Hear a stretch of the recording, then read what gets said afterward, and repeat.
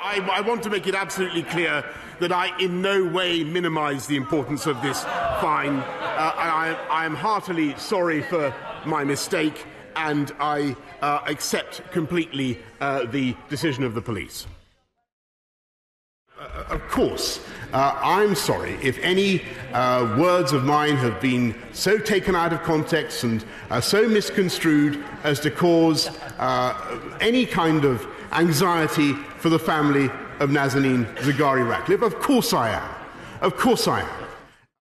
On a, on a point of order, uh, you will be aware, Mr. Speaker, that the Committee on Standards has today published a report on nine payments, mainly uh, unexpected foreign royalties, which I am very sorry to say were recorded late on the register of members' interests.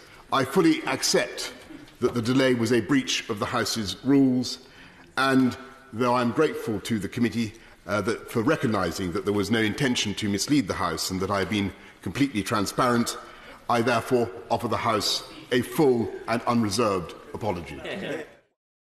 I, I, certainly take full responsibility for everything the government uh, did, and uh, of course, uh, we mourn uh, the loss of every single uh, coronavirus victim, uh, and we sympathise deeply with their with their families. Of course, I'm deeply, deeply sorry, Mr. Speaker, and of course, there will be time for a, a, full inquiry to enable us all to understand what we need to do better when we face these problems in the future.